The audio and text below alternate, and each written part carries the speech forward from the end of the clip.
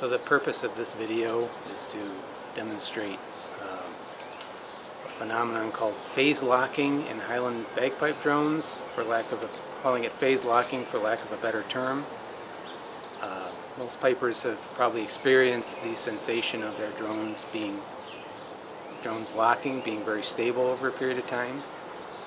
Um, this is a demonstration of a technique to encourage that.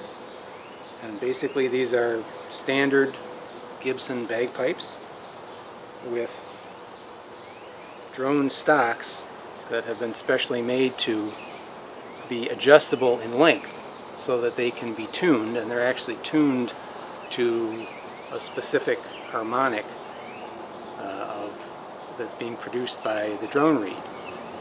Um, and what's what happens when you do that is that the drones tend to do a better job of locking. So I'm going to try and demonstrate that. Um,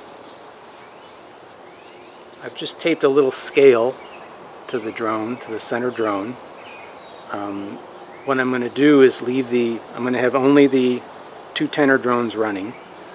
I'm going to leave the outside drone alone and I'm going to adjust the, the, the middle drone and hopefully you'll be able to see that there's a fairly large range over which the drones stay in tune.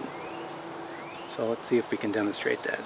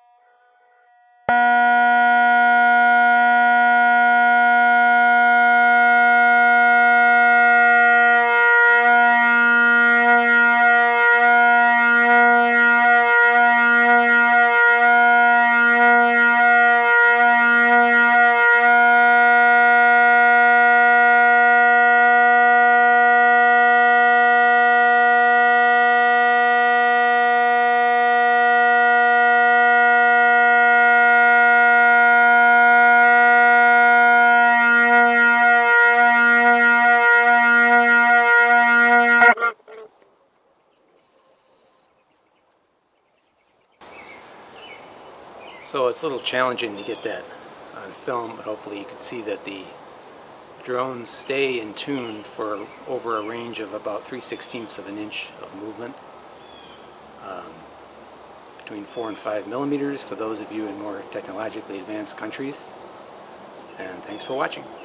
Uh, feel free to contact me uh, in my, through the YouTube channel if you have any other questions. I will also post a couple of still photos of these drone stocks uh, in the description of the video. Thanks.